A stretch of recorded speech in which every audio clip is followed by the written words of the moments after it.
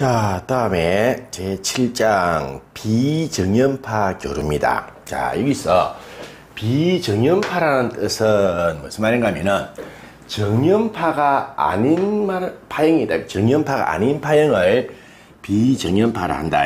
그래서 쉽게 말하면 4인파가 아닌 파형을 비정연파라 한다. 그래서 요거는 이제 어, 4인파가 어, 아닌 어떤 파형을 어, 해석을 해야 되는데 어떤 사람이 했는가 하면 뿌리에라는 사람이 해석을 했다 이거를 뿌리의 급수성계다라는 말을 합니다. 그래서 이런 파형에서 가장 중요한 것은 반드시 주기성이 있어야 주기성. 주기성이 있어야 되겠다. 주기, 주기적인 비정인 함수입니다. 주기성이 있어야 되겠다. 그래서 주기성이 없으면 해석을 할 수가 없습니다. 반드시 주기성이 있는 비정인파, 외형파를 해석하는 애는 부리의 급수성결을 하겠다 이 말. 그래서 어떤 함수든 그러니까 아, 주, 주기성이 있는 어떤 파형 함수가 막 이런 식으로 막 이런 함수가 있다라고 하면 이런 파형으로 계속 주기가 주기적으로 이렇게 계속 나타나는 이 파형을 해석하는 데는 푸리에라는 사람이 어떻게 해석을 했는가 하면은 저 파형 중에서는 A0 A0 직류 성분이 있다. 그 다음에 n equal 시그마 n equal 1에서 무한대까지 an의 코사인 n 오메가 t 코사인 n 고조파의 성분이 있을 것이다. 다음에 플러스 n equal 1에서 무한대까지 bn의 사인 n 오메가 t 사인 n 오메가 t 어, 사인 성분에 n 오메가 t 고조파 성분이 포함되어 있을 것이다. 해서 a0 플러스 시그마 n equal 1에서 무한대까지 an 코사인 n 오메가 t 플러스 시그마 n equal 1에서 무한대까지 bn의 사인 n 오메가 t로 해석한다. 이거를 푸리에 급수 전개라 한다는 뜻입니다. 그래서 여기서 뭐만 구하면 되는가 하면은 A0, AN, BN만 구하면 되더라. 그래서 A0를, A0는 T분의 1에 제로에서 T까지 FT, DT니까 어떤 FT라는 함수를 T, T, 제로에서 T까지 직분하라는 뜻이니까 요거는 바로 평균치를 말합니다. 평균치. 평균치 정의식이 되겠죠. A0 성분은 직류 성분이다. 그래서 평균치입니다. 그 다음에 AN은 t분의 2의 t가 주기죠. t분의 2의 인테그랄 제로에서 t까지 ft의 코사인 n 오메가 t dt다 이 말이고 다음 b에는 t분의 2의 인테그랄 제로에서 t까지 ft의 사인 n 오메가 t dt다 이런 식인데 아, 자 이런 방향을 해석하려면은 어, 어렵다 이 말이죠. 어려우니까 특수한 특수한 파형만 우리가 한번 해보자. 특수한 파형을 해갖고 다섯 가지 파형이 있는데 요 다섯 가지 파형에 대해서는 암기를 해놓자 라는 뜻입니다. 암기를. 자, 그래서 특수한 파형을 하는데 첫째는 우리가 반파대칭이라는 파형입니다. 이 반파대칭이라는 파형은 어떤 파형을 앞으로 반파대칭이라고 이야기를 하는가 하면은 반죽입니다. 부죽이. 요까지가 T니까 요까지가 반죽이죠. 반죽이 여기 딱 반죽입니다. 여기 한 죽이니까 어, 반죽이 동안 X축으로 평행이동식입니다. 평해동식에서 X축에 딱 겹치는 파형을 앞으로 모든 파형을 반파대칭이라는 이름을 정하자 이런 뜻입니다. 그래서 여기 보면은 반죽이죠. 요 파형을 반죽만 이제 평행이동 시킨다. 평행이동에서 X축에다 겹치면은 모든 파형을 앞으로 모든 파형을 반파대칭을 하자 이런 뜻입니다. 자 그러면은 어, 요 값하고 요 값 같아지죠. 요 어떤 값에, 요, 요 어떤 값에, 요 값의 식을 ft라고 하면은, 요 값은 똑같아야 되겠죠. 대칭이 되기 2분의 t만 지금 평행이동이 시켰으니까. 그럼 요거는 플러스지만 요거는 마이너스입니다. 다음에 t축으로, 여기 이제, 어, t축이니까 t축으로 2분의 t만 지금 평행이동 시킨 거죠. 그래서, 어, ft 값하고, ft하고, ft하고 마이너스 f에, 마이너스 f에 t 플러스 2분의 t하고 같은 모든 파형을 앞으로 반파대칭이라는 이름을 정하자. 반파대칭 이름을 정하자. 그래서 반파대칭은 이 시기에 성립하는 거죠. 이 시기. 자, 이거를, 이거를 뿌리의 급수 전개를 한번 해보니까 결과가 어째 나오는가 하면은 결과를 해야 됩니다. 홀수항의 사인항과 코사인항만 존재하더라. 이 말이지. 홀수항의 사인 항과 코사인 항만 존재하더라. 뿌리의 급수 전개를 해보가, 해보니까 그래서 직류성분은 제로가 됩니다. 직류성분 나타나지 않고 홀상의 1, 3, 5, 7, 9 하는 건이 홀상의 사인항하고 코사인 항만 존재하더라. 그래서 반파대칭을 한게 해야 됩니다. 반파대칭은 반주기 동안 X축으로 T축으로 평행이동시켜서 T축에 겹쳐지는 모든 파형을 우리가 앞으로 반파대칭을 하는데 그 파형의 값은 FT하고 마이너스 F의 T 플러스 2분의 T가 성립하는 거다. 이거를 무리의 급수 전개를 해보니까 홀수항의 사인항과 코사인항만 존재하더라. 이런 뜻입니다. 그래서 반파대칭은 반파대칭은 어, 뿌리의 급수 전개를 해보니까 결과적으로는 홀수항의 사인항하고 코사인항만 나타난다. 이런 뜻입니다. 자, 그 다음에 두 번째 정연대칭입니다. 이거를 우리가 기수파라고 이야기하는데 정연대칭이라는 건 뭔가면 원점 대칭이다. 요 원점을 딱 기준해서 삥 돌아가면 요 파형이 원점을 대칭해갖고 요 파형이 삥 돌아가 요 파형이 딱 겹치면은 우리가 앞으로 이런 모든 파형을 앞으로 정연 대칭을 하자. 원점 대칭. 원점을 기준해갖고 원점을 기준해서 삥 돌려갖고 겹쳐지면은 모든 어, 파형을 정연대칭 또는 기수파란다.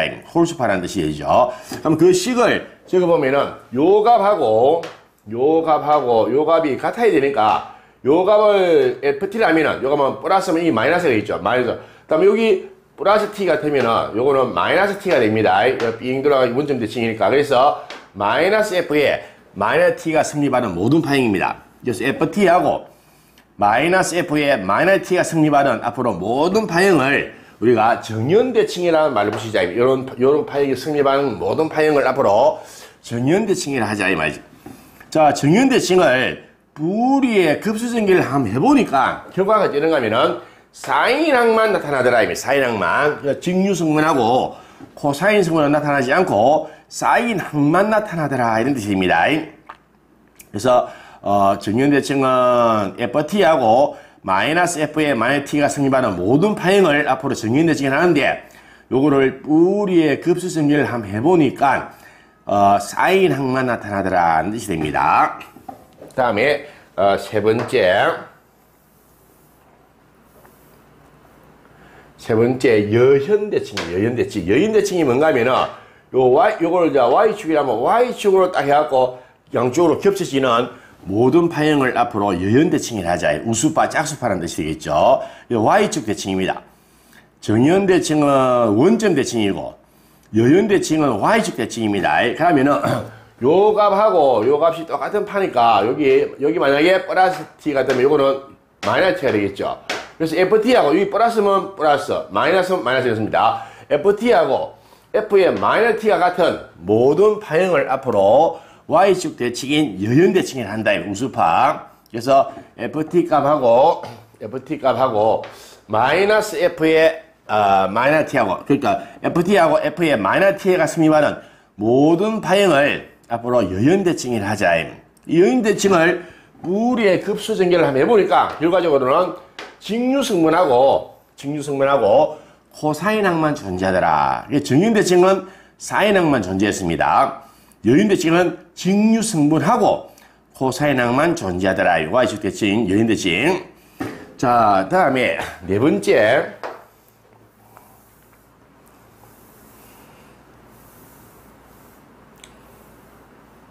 자, 네 번째. 반파 및 정연 대칭입니다.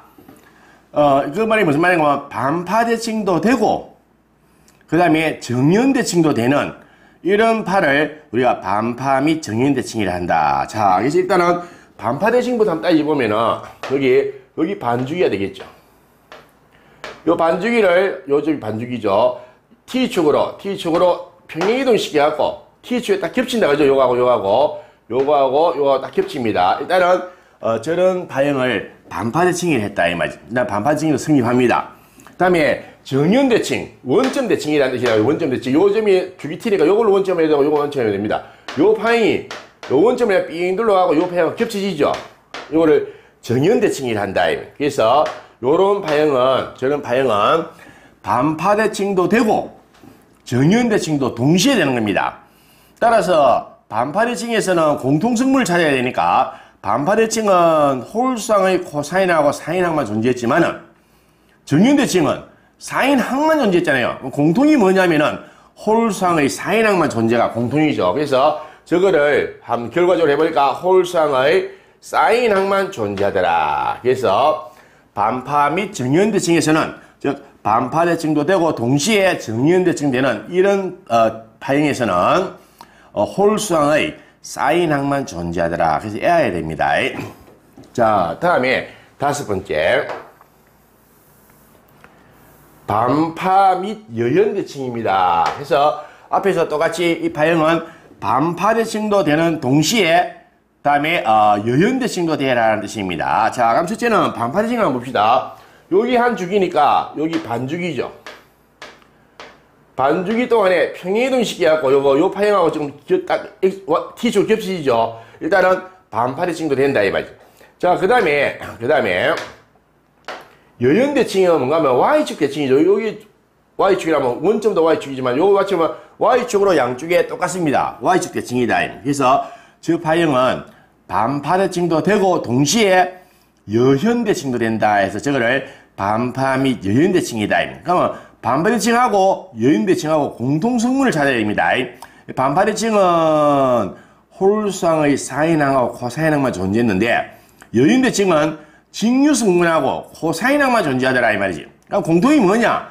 홀수항의 코사인항이 공통이죠. 그래서 반파 및 여현대칭에서는 홀수항의 코사인항만 존재하더라. 이래서 특수한 우리가 파형 중에서 어, 다섯 가지 아, 첫째는 다섯 가지죠. 첫째는 반파대칭, 두 번째는 정연대칭, 세 번째는 여연대칭, 네 번째는 반파 및 정연대칭, 다섯 번째 반파 및 여인 대칭 이 특수한 성분 다섯 가지는 어, 결과를 암기를 해 놓을 수밖에 없습니다.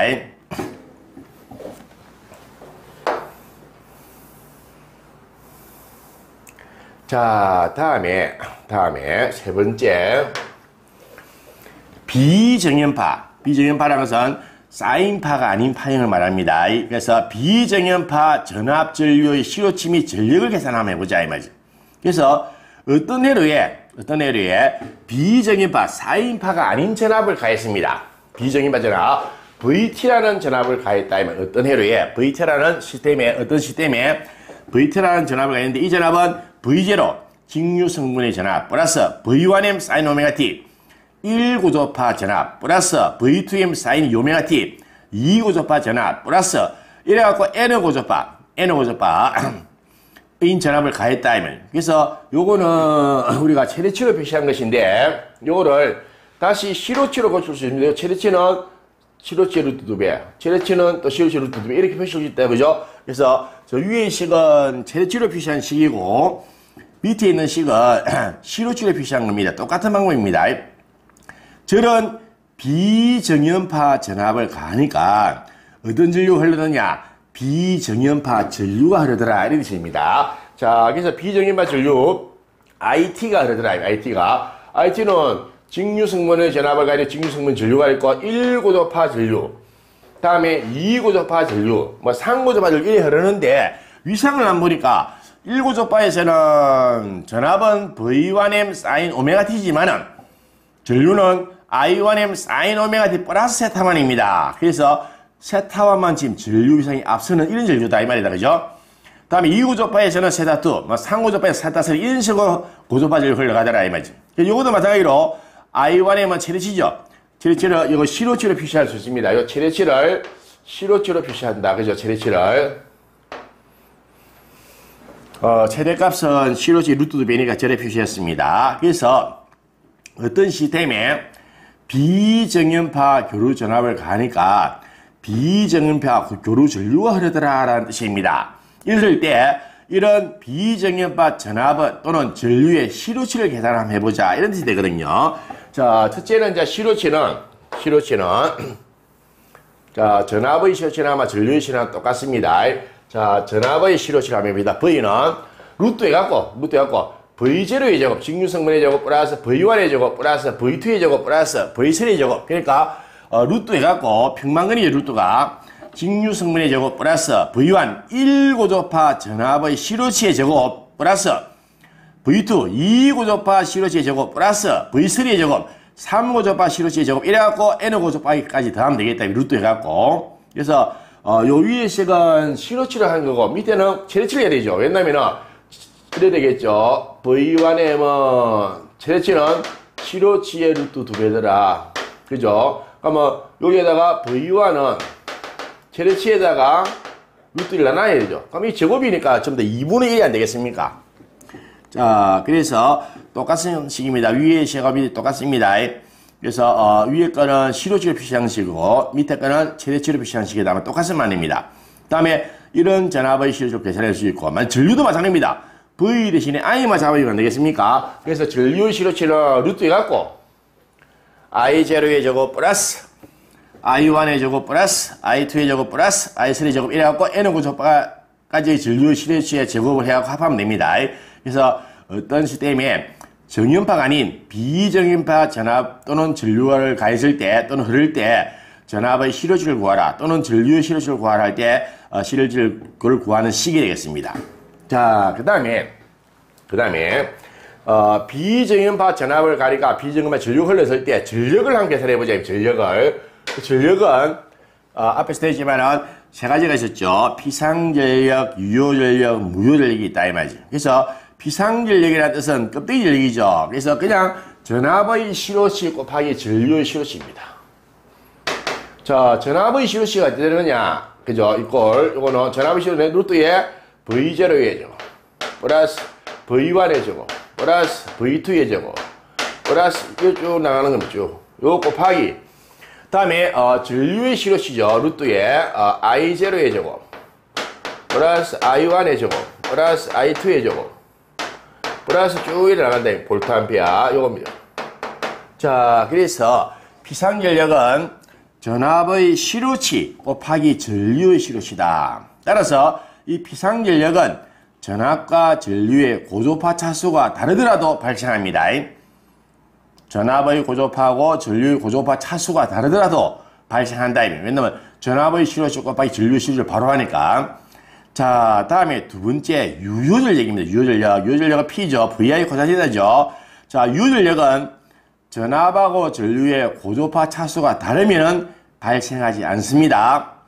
자, 그래서 아까 전에 전압을 V0로 가니까 전류가 I0로 흘렀죠. 그래서 여기는 어, 직류 성분의 전력이 나타났습니다. 직류 성분의 전력. 다음에 아까 전에 어, V1의 전압을 가니까 I1의 전류 흘렀죠. 그래서 1구조파는 전압하고 전류 고조가 똑같습니다. V1, I1, 코사인 세타반. 그래서 아까 전에 전압 V를 VM 사인 오메가 T라는 전압을 가니까 전류 I가 IM 사인 오메가 T 플러스 세타반이 되고 유상차가 세타반만 지났었죠. 그래서 코사인 세타반 할 때 세타반만 1구조파에서는 유상차가 세타반이다 이 말입니다.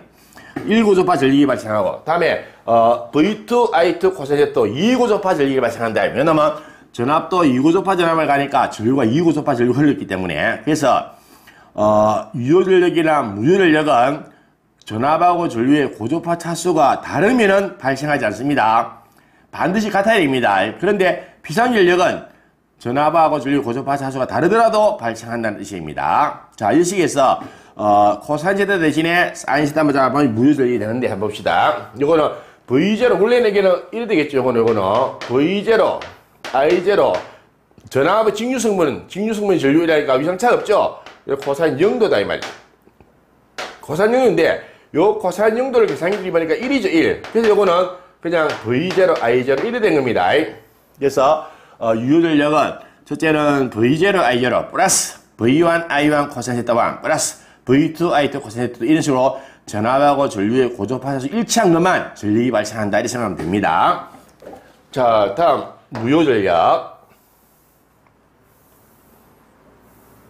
자, 무효전력은 피상전력의 사인 성분인데 직류성분이죠. 그래서 이거는 V0, I0, 다음에 무효전력 사인, 사인 0도입니다. 사인 0도. 자, 사인 0도가 이게 0이죠. 0. 0이니까 이거는 0입니다. 그래서 직류 성분에 평균지 전력은 발생하지 않는다. 평균 전력은. 그래서 어, V0, I0 사인 0도니까 0이다. 이 말이지. 1구조파부터 나타나는 거죠. 그래서 무효전력은 V1, I1 사이셨다만 플러스 1구조파 무효전력, 2구조파 무효전력, V2, I2, 사인세토 1에서가 N구조파까지 합을 하면 되겠다. 그래서 전압하고 전류의 고조파 차수가 다르면은 유효전력이나 무효전력이 나타나지 않고 비상전력이 나타납니다. 반드시 전압의 고조파 차수하고 전류의 고조파 차수가 일치를 해야 유효전력하고 무효전력이 발생한다. 이런 뜻입니다. 자, 다음에 네 번째 외형률입니다. 그래서 외용률이라는 뜻은 일그러짐의 정도를 말하죠. 자, 외용률은 기본파 시로치에 대해서 고조파만의 시로치의 비를 말한다. 자, 그래서 이걸 식을 한번 적어보면은 기본파라는 것은 전압 같으면은 어, 전압, 전류과도 전류 상관없습니다. 그래서 어, 이걸 전압이라고 하면은 기본파 시로치, 기본파라는 것은 뭔가 하면은 1고조파를 기본파랍니다. 그래서 기본파 전압의 시로치에 대해서 고조파만의 시로치, 고조파만 1고조파 빼고, 그죠? 2고조파부터, 그래서 루트에, 어, V2의 제곱, 플러스 V3의 제곱, 플러스 쭉 나갑니다. 요, 요거를 비를 우리가, 뭔가 하면은 외형률이다라는 말을 합니다. 그래서 기본파라는 뜻은 1고조파를 기본파랍니다. 그래서 1고조파 전압의 시로치에 대해서, 기본파 시로치에 대해서 고조파만의 말. 2고조파부터 근데 주어진 거. 그래서 고조파만의 시로치의 비를 외형률이라 한다. 이런 뜻입니다. 자, 그 다음에 다섯 번째. 다섯 번째. 어, N 고조파 회로 에서 이제 회로 계산을 하는 겁니다. N 고조파. 고조파, N과 고조파에서 수다 이 말이에요. 그래서 RL 직렬 회로 에서 인피는 Z가 되느냐면은 RL 직렬 인했잖아. R 플러스 J의 오메가 1이죠. 자, 저기 어, RL 직렬 회로에서 어, 인피니 Z를 구하는 식입니다. 그래서 R 플러스 J 오메가 L이다. 저거는 기본 파일 때, 저 1고조파일 때 하는 건 말이다. 그러면은 N고조파일 때는 회로식이 되는가 하면 N고조파, N고조파일 때 인피니스는 R은 고조파와 상관없죠. 주파수를 L을 배려해주면 됩니다. N고조파일 때는. 그래서 R 플러스 J N 오메가 L입니다. 이런 식입니다. R을 직렬해서는 자 그러면 RC 직렬회로에서는 또 어찌 되느냐 RC 직렬회로에서 임피던스는 RC 직렬회로에서는 이거는 R 마이너스 J의 오메가 10을 1, 1이 되겠죠. 자 요것도 마찬가지로 N 고조파에서는 주파수를 N을 해주면 되겠죠. 그래서 어, N 고조파에서 RC 직렬회로에서는 제때에는 R 마이너스 N 오메가 10은 1이더라. 이런 뜻입니다. 자, 그러면은 이제, 어, 회로 계산할 때, 직렬 회로 계산할 때는 인피를 사용해야 되죠. 어, I는, 직렬 I는 Z분의 V입니다. Z분의 V인데, 여기 바로 실컷 N 고조파 전류를 구하라. 이라면은, N 고조파 임피던스에 대해서 N 고조파 전압의 시로치가 돼야 됩니다. N 고조파의 전류를 구하라. 만약에 뭐 3고조파 전류를 구하라 이러면은 3고조파 임피던스 분의 3고조파 전압의 해야 된다. 전류가 시로치 같으면은 전압도 시로치, 전류가 시로치 같으면은 전압도 해야 됩니다. 그래서 RL 직렬 회로에서는 IN은 ZN분의 VN다. N가 고조파 차수입니다. 그럴 때 우리 ZN이라는 것은 R을 직렬하니까 R 플러스 J에 오메가1인데 오메가에다가 즉 오메가는 2파F죠. 2파F에다가 n을 곱해라 이런 뜻이 됩니다. 자, 그래서 회로 계산할 때는 앞으로 i는 i는 zn분의 vn다 이런 뜻입니다. 그래서 예를 들어서 rl 직렬 회로에서 rl 직렬 회로에서 인피는 z는 어, 전류 i를 계산해 보자. 앞으로 어, 앞으로 어, 인피는 z에서 인피는 z에서 어찌 되는가 하면 rl 직렬 회로에서 rl 직렬에서 어, 3고조파 전류 시로수를 구하라. 예를 들어서 R을 중에 3고조파 전류 시로수 그러면 I3는 Z3분의 V3 이래 돼야 됩니다. 그래서 I3가 3고조파 전류 시로치를 하자 이 말이죠. 주대 Z3는 어, 3고조파 임피던스입니다.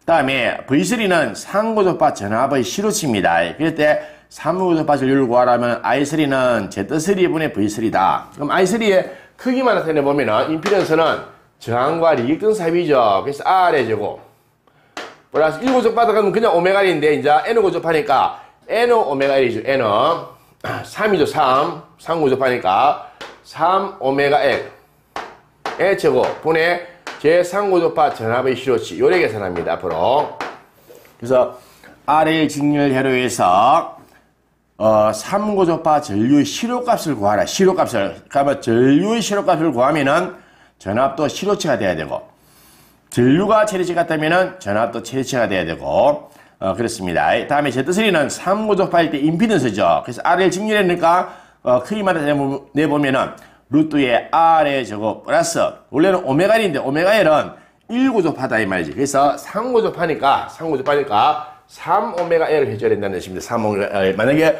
5고 좁파 같으면은 5 오메가 L 요래줘야 됩니다. 그래서 3고 좁하니까 어, 3 오메가 L의 제곱분의 V3다. 이런 뜻이 되겠습니다.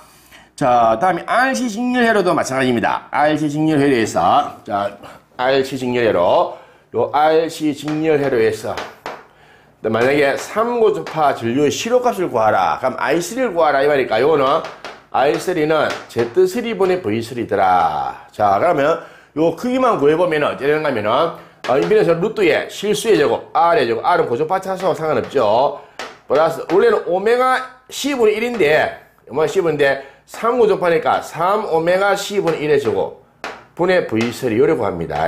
자, 그래서, 어, 3고접파를 구하라. 이러면은, 어쩌는 가면은, 어, 오메가 2파 F를, F를 3배를 주면 3고접파가 되겠죠. 자, 그래서 앞으로 전류 계산할 때, 어, 뭐 N고접파 전류를 구할 때는 반드시 IN은 ZN분의 VN가 된다. 이 식에서 전류의 실효치를 구하라. 이러면은 전압의 실효치를 해야 됩니다. 다음에 전류의 최대치를 구하라. 이러면 전압의 최대치를 해야 됩니다.